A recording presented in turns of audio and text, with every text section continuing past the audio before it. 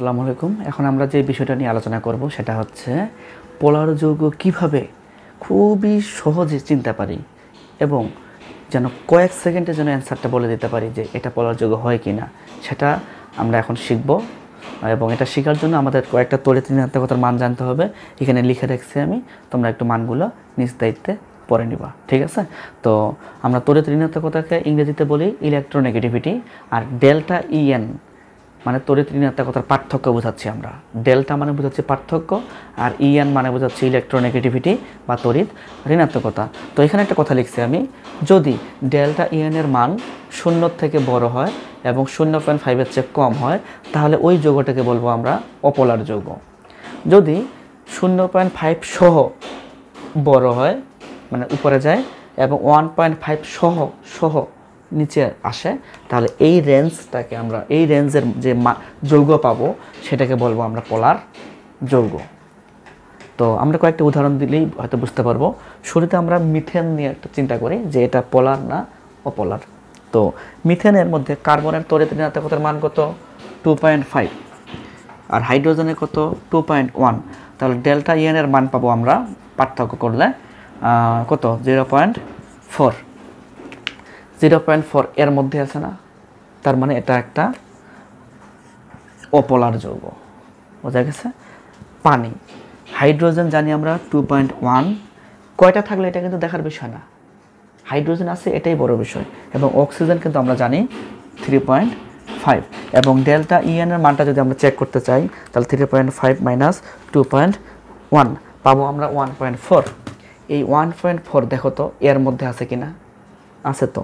এই one point four যেহেতু এই রেঞ্জের মধ্যে আছে, তাহলে এই যোগাটা হবে পোলার ঠিক তেমনইভাবে অ্যামোনিয়া নাইট্রোজেন কত?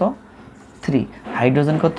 টু পয়েন্ট ওয়ান তাহলে থ্রি আর টু পয়েন্ট ওয়ান মাইনাস করলে কত হয়? মাইনাস করলে দাঁড়াবে zero point nine zero point nine কার মধ্যে আছে? এর মধ্যে আছে না? তাহলে কত আসলো? জিরো পয়েন্ট নাইন এবং এটা হচ্ছে পোলার যৌগ।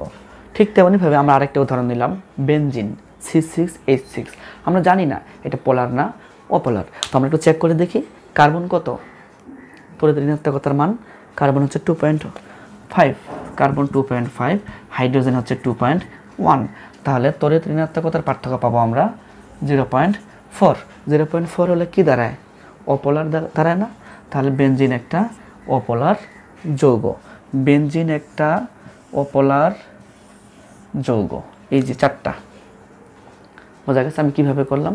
তো এইভাবে কিন্তু আমরা খুব সহজেই কোনো যৌগকে পোলার, না অপোলার ডিসাইড করতে পারি। জাস্ট মনে রাখতে হবে এই দুইটা কথা এবং এই কয়েকটা তরিত ঋণাত্মকতার মান। তো আমরা যদি একটা অ্যালকোহল নিয়ে কথা কথা বলি, অ্যালকোহল। দেখো, অ্যালকোহলের মধ্যে কোন মূলক থাকে জানো তো নাকি? ওএইচ থাকে। CH three CH two OH এটা একটা অ্যালকোহল এবং এই অ্যালকোহল হচ্ছে, নাম হচ্ছে ইথানল দুই কার্বনের অ্যালকোহল আমরা অ্যালকোহলের যখন পলার যৌগ বা অপলার যৌগ ব্যাখ্যা করতে যাব, তখন অবশ্যই এই অ্যালকাইল মূলকের নিয়ে কোনো চিন্তা করব না জাস্ট এই দুইটা মানে এই মূলকটা নিয়ে চিন্তা করব ওএইচ মূলকটা নিয়ে চিন্তা করব। যেমন অক্সিজেনের তরিত ঋণাত্মকতার মান কত যেন থ্রি পয়েন্ট ফাইভ হাইড্রোজেনের কত? টু পয়েন্ট ওয়ান তাহলে আহ, আমরা বিষয়টা জানতে পারি। কত? Three point five minus two point one one point four তাহলে ডেল্টা ইএনের মান পাচ্ছি আমরা ওয়ান পয়েন্ট ফোর তড়িৎ ঋণাত্মকতার মান যদি ওয়ান পয়েন্ট ফোর কোথায় পাচ্ছি আমরা? এই রেঞ্জের মধ্যে পাচ্ছি না। তাহলে এটা কি? পলার যৌগ অর্থাৎ অ্যালকোহল একটি পলার যৌগ। হোক ইথানল হোক প্রোপানল হোক বিউটানল আমরা জাস্ট শুধু ওএইচ মূলকটার দিকে তাকাবো। এগুলোর দিকে তাকাবো না। তাহলে এভাবেই আমরা পলার যৌগ বা অপলার যৌগ চিনতে পারি। আশা করি বুঝতে পারছ, না বুঝতে পারলেও কমেন্ট বক্সে কমেন্ট করবা। ভালো থাকো। আল্লাহ হাফেজ।